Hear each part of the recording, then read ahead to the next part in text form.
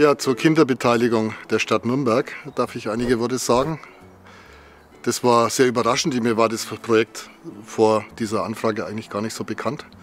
Aber ich habe das von Anfang an äh, als sehr gute Idee empfunden und habe das unterstützt und äh, war überrascht äh, über die Dynamik dieses Projektes, obwohl ja Corona äh, die, die Möglichkeiten der Kooperation mit den Kindern doch deutlich reduziert hat, kam eine extrem hohe Rückmeldungsquote mit sehr, sehr interessanten Vorschlägen und Inhalten.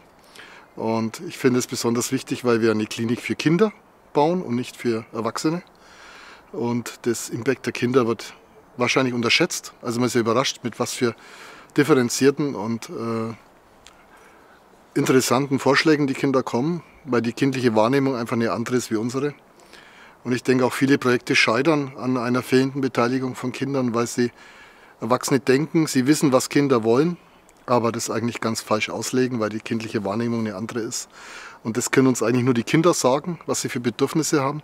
Und das war in diesem Projekt äh, sehr geglückt, finde ich. Die, die Vorschläge waren toll, sind auch aufgenommen worden, soweit es möglich ist, hoffe ich. Und äh, ich habe das Projekt als sehr erfolgreich bisher empfunden und habe das sehr begrüßt.